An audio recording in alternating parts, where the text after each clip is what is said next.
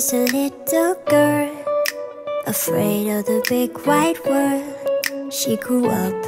within her castle